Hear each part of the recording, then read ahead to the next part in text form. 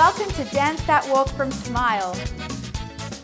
We've turned walking into a fun new workout that's full of dance moves, burns calories, is low impact, and most importantly, easy to follow. Push, push, push, reach up.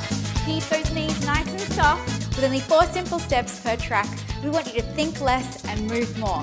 So you don't spend your time learning, you spend your time sweating. You'll be rocking to the jive. Woo! Cheeky cha-cha. Cha-cha-cha.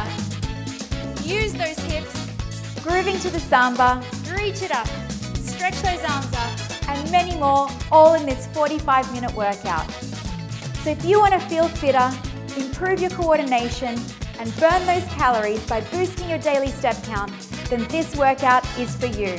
So join me and let's dance that walk.